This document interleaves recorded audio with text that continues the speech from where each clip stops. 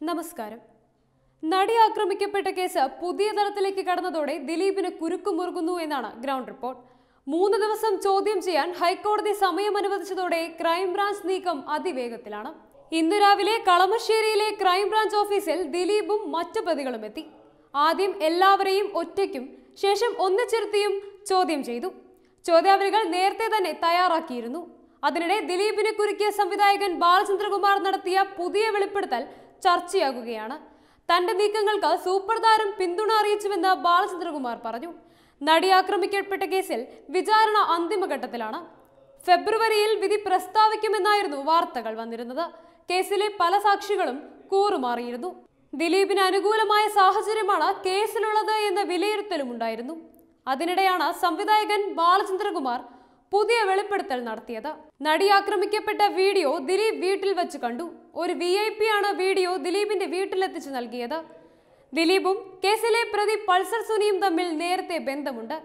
അങ്ങനെ തുടങ്ങി നിരവധി കാര്യങ്ങളാണ് ദിലീപിന് തിരിച്ചടിയാകുന്ന രീതിയിൽ ബാലചന്ദ്രകുമാർ സ്വകാര്യ വാർത്താ ചാനലിനോട് പറഞ്ഞത്.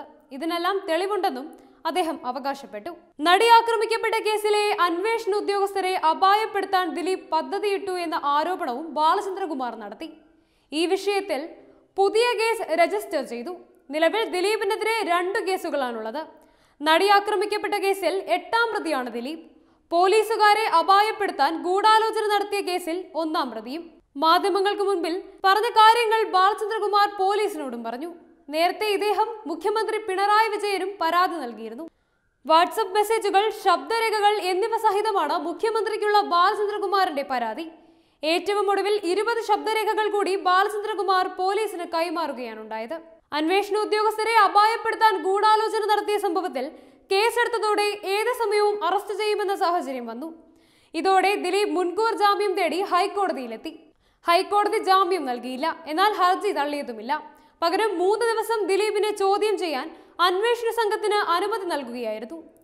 ദിലീപ് സഹോദരൻ അനൂപ് സഹോദരി ഭർത്താവ് സൂരജ് ബന്ധു അപ്പു സുഹൃത്ത് ബൈജു ചെങ്ങമനാട് എന്നിവരെയാണ് ഇന്നു മുതൽ മൂന്ന് ദിവസം കളമശ്ശേരിയിലെ ക്രൈംബ്രാഞ്ച് ഓഫീസിൽ ചോദ്യം ചെയ്യുന്നത്. ആദ്യം പ്രതികളുടെ വിശദീകരണം കേൾക്കുകയാകും അന്വേഷണ സംഘം. പിന്നീട് തങ്ങൾക്ക് ലഭിച്ച തെളിവുകൾ സംബന്ധിച്ച് ചോദിച്ചറിയും.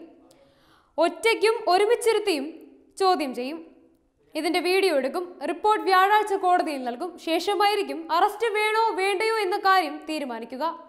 അതേസമയം ദിലീപിനെതിരായ കേസിൽ ഒട്ടേറെ താരങ്ങൾ തനിക്ക് പിന്തുണ അറിയിച്ചുവെന്ന് ബാലചന്ദ്രകുമാർ പറഞ്ഞു. അറിയുന്നവരും അല്ലാത്തവരുമെല്ലാം പിന്തുണ അറിയിച്ചു. മലയാളത്തിലെ ഒരു സൂപ്പർ താരം എനിക്ക് പിന്തുണ അറിയിച്ച് മെസ്സേജും അയച്ചു. കേസുമായി മുന്നോട്ട് പോകാൻ അദ്ദേഹം പിന്തുണച്ചു. സംവിധായകരും നിർമ്മാതാക്കളും പിന്തുണ നൽകുന്നുണ്ടെന്നും ബാലചന്ദ്രകുമാർ വ്യക്തമാക്കി. Web desk Tatwamayi News.